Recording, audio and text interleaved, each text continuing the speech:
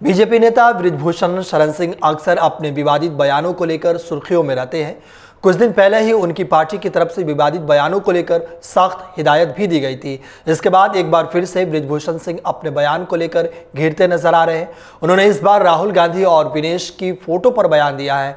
ब्रिजभूषण ने कहा कि मेरे साथ तो कभी विनेश की ऐसी फ़ोटो नहीं देखी। अब कहीं वो राहुल को ना फंसा दे।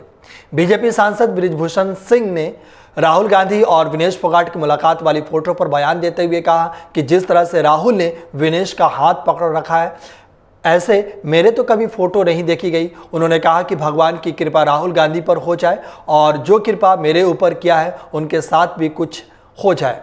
आपको बता दें कि विनेश फोगाट के कांग्रेस में शामिल होने के बाद बीजेपी नेता ब्रिजभूषण सिंह ने पार्टी पर जमकर निशाना साधा।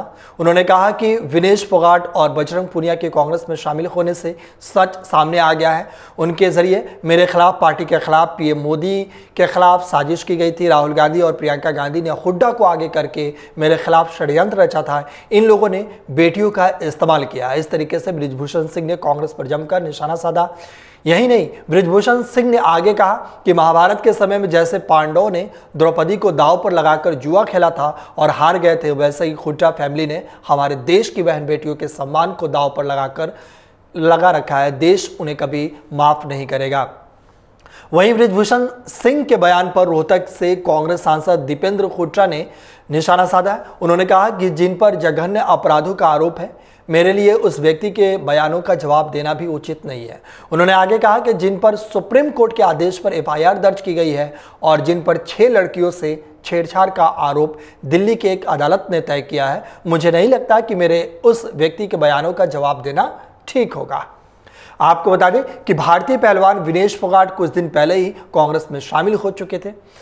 पार्टी ने उन्हें जुलाना विधानसभा से अपना उम्मीदवार बनाया है। पिछले साल बजरंग पुनिया, साक्षी मलिक और विनेश फोगाट सहित कई पहलवानों ने ब्रिजभूषण सिंह के खिलाफ लंबे समय तक विरोध प्रदर्शन किया था।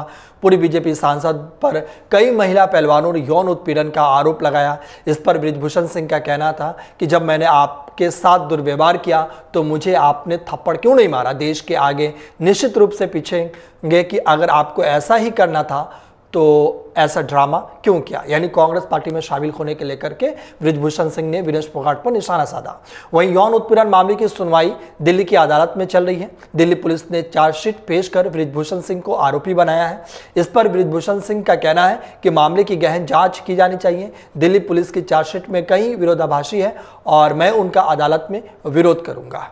अगर आप ये वीडियो YouTube पर देख रहे हैं तो हमारे चैनल को सब्सक्राइब करें और बेल आइकन को दबाना ना भूलें। अगर आप Facebook पर यह वीडियो देख रहे हैं तो हमारे पेज को लाइक करें।